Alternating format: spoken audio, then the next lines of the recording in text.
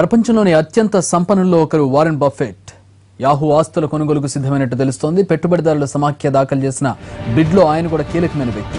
అదేవిధంగా world class businessmen Quicken Loans Cleveland's Cavaliers అధిపతి Dan Gilbert's కూడా యాహూ ఆస్తుల కొనుగోలుకు రెడీ అయ్యారు.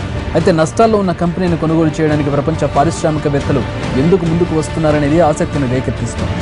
యాహూ కంపెనీకి ప్రస్తుతం క్రేజ్ తగ్గింది. నష్టాల్లో కొనసాగుతుంది. అయితే సంపన్నులు తమ క్రేజ్తో యాహూకు కొత్త మెరుగులు దిద్దాలని భావిస్తున్నట్లు నిపుణులు అంచనా వేస్తున్నారు.